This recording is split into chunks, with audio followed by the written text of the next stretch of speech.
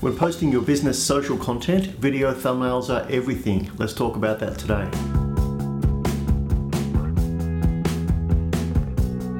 So you want to try and keep your video thumbnails all the same. They should all have a uniform look across your brand. You can see here on the ADM YouTube channel, all the video thumbnails are the same. They've got red on one side, a photo on the other side, and some text.